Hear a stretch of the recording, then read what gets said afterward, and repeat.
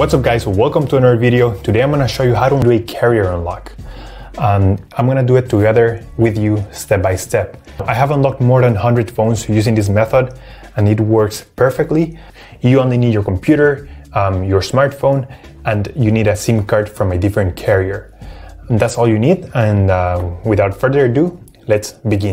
So to start, we're gonna get the phone's IMEI number. That's a unique number for every phone. So to get it, simply dial star hash 06 hash. As you will see, your 15-digit IMEI number will appear in the screen of your phone. This number is very important, it represents the ID of your phone, and keep it somewhere close because we're gonna use it in a few seconds to unlock this phone. Okay, now we're gonna switch to the computer. And in this website, we will request the unlock code to unlock this phone or any other phone you want to unlock.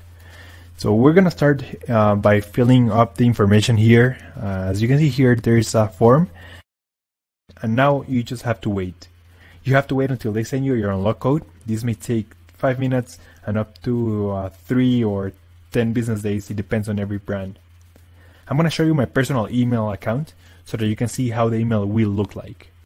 And as you can see here, I got this message and it confirms that the phone has been unlocked. Any questions, just leave them on the comment section down below and I'll try to answer all of them. Thank you so much and I'll see you on the next one.